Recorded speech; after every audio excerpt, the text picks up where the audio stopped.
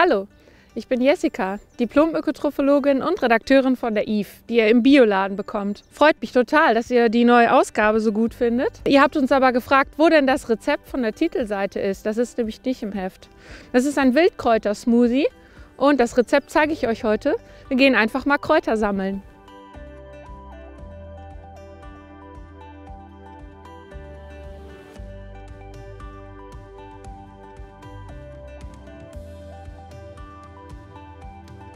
Das hier ist die Taubnessel, die purpurrote Taubnessel.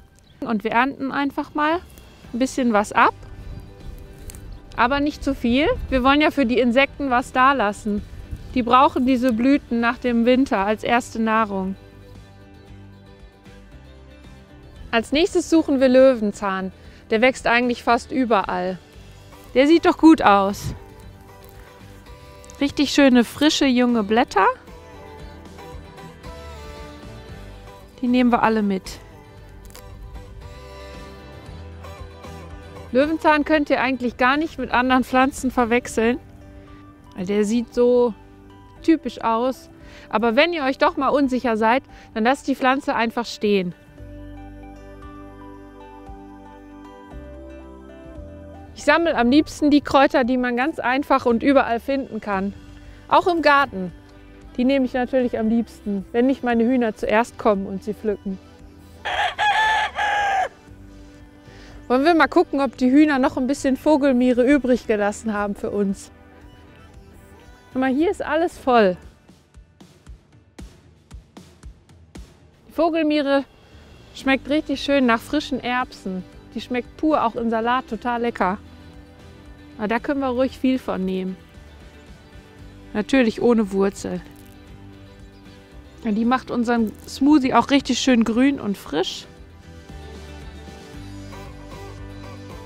So, und jetzt können wir die Brennnessel finden. Hier zum Beispiel.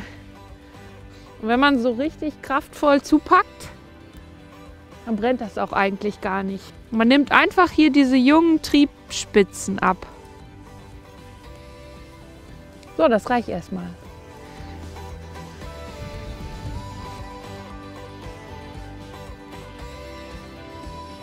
Ah, und hier wächst noch Gänseblümchen.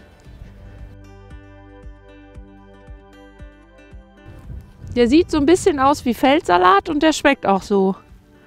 Also eigentlich kann man diese ganze Pflanze so abernten, wie so einen kleinen Feldsalat. So, jetzt haben wir aber genug gesammelt. Jetzt nehmen wir die mit ins Haus.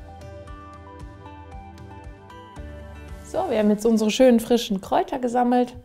Zwei Hände voll Kräuter reichen schon aus, um zwei große Gläser Smoothie zu machen. Und ganz wichtig ist natürlich, die Kräuter jetzt zu waschen.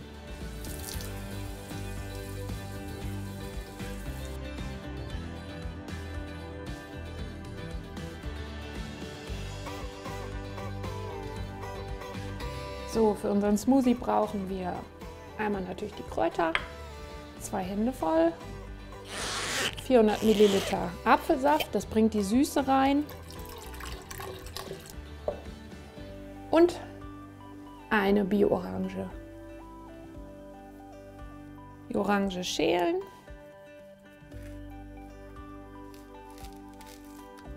Bisschen Schale brauchen wir gleich noch. Und ihr braucht einen guten Mixer, der richtig Kraft hat. Dann können wir die ganze Orange einfach so hier rein tun. So, das schafft er schon. Ein bisschen schön Orangenschale dazu. Das bringt so ein bisschen Aroma rein. Zack, jetzt brauchen wir unsere Kräuter.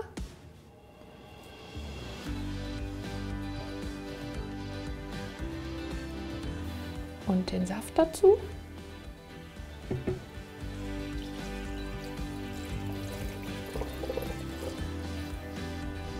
Schön Deckel drauf, damit nichts spritzt.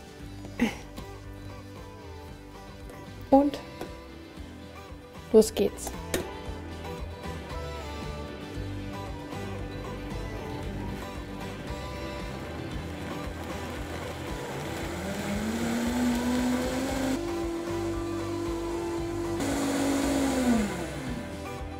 Boah, sieht der nicht super aus?